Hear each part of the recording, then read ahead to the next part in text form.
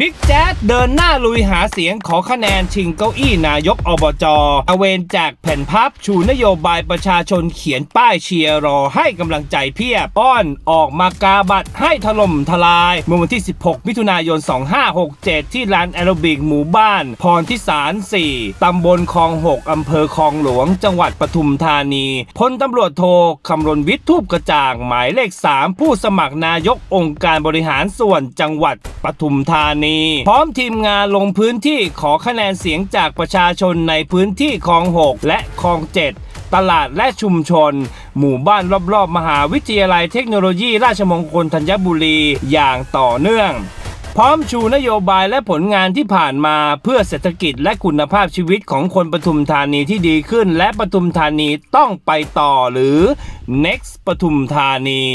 ส่วนบรรยากาศมีประชาชนมอบกำลังใจ และให้การต้อนรับมอบดอกไม้และพวงมาลัยดอกดาวเรือง และเขียนป้าย ให้กำลังใจ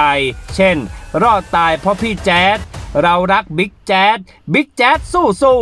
คลองสวยน้ำใส ภัยน้ำท่วมน้ำแล้ง พี่แจ๊ดเอาอยู่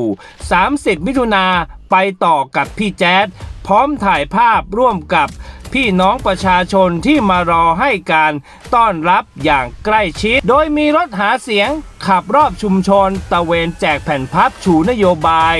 ได้ลงพื้นที่พบปะ เยี่ยมเยียนประชาชนริมคลองหกคลองระพีพัฒเข้าเยี่ยมชุมชนหมู่ 11 ทั้งสองฝั่ง เข้าชุมชนสมจินตนาหมู่ 9 ชุมชนสหกรณ์เข้าซอย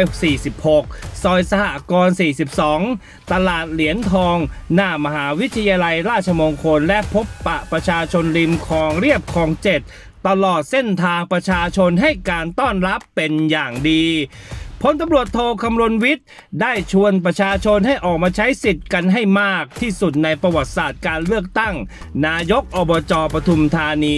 ในวันที่ 30 มิถุนายน 2567 นี้ และที่น่าสนใจยิ่งไปกว่านั้นคือโพลของนิด้าชี้ว่าการเลือกตั้งนายกอบจปทุมธานีบิ๊กแจ๊สเป็นฝ่ายเข้าวิน โดยเผยผลสำรวจของประชาชนเรื่องใครกล้าฟันธงเลือกตั้งนายกอบจ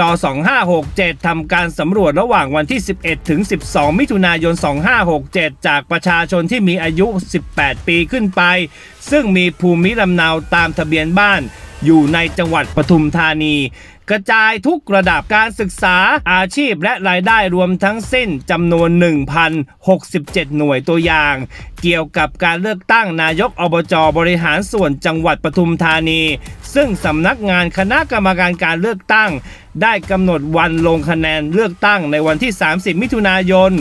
การสำรวจอาศัยการสุ่มตัวอย่าง โดยใช้ความน่าจะเป็นจากบัญชีรายชื่อฐานข้อมูล ตัวอย่างหลักของนิด้าโพลสุ่มตรวจอย่างแบบหลายขั้นตอน เก็บข้อมูลด้วย วิธีการสัมภาษณ์ทางโทรศัพท์ โดยกำหนดค่าความ เชื่อมั่นร้อยละ 95.0 จากการสำรวจเมื่อถามถึงบุคคลที่จะสนับสนุน ให้เป็นนายกองค์การบริหารส่วนจังหวัดปทุมธานีในการเลือกตั้งครั้งนี้พบว่าตัวอย่างร้อยละ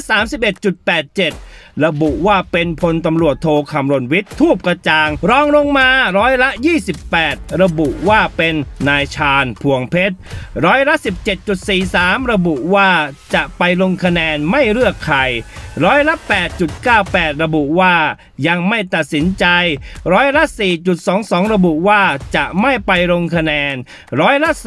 3.14 ระบุว่า นายนพดลรัตดาแย้ม ร้อยละ 1.79 ระบุว่านายอธิวัตรสอนเนย ร้อยละ 3.66 ระบุว่าไม่ตอบ ท้ายที่สุดเมื่อถามถึงผลกระทบต่อการตัดสินใจเลือกนายกองค์การบริหารส่วนจังหวัดปทุมธานี จากกรณีที่ทักษิณชินวัตรเดินทางไปจังหวัดปทุมธานีพบว่าตัวอย่างร้อยละ81.91 ระบุว่าไม่ส่งผลกระทบเลยรองลงมาร้อยละ 5.25 ระบุว่าไม่ค่อยส่งผลกระทบร้อยละ 5.06 ระบุว่าค่อนข้างส่งผลกระทบ ร้อยละ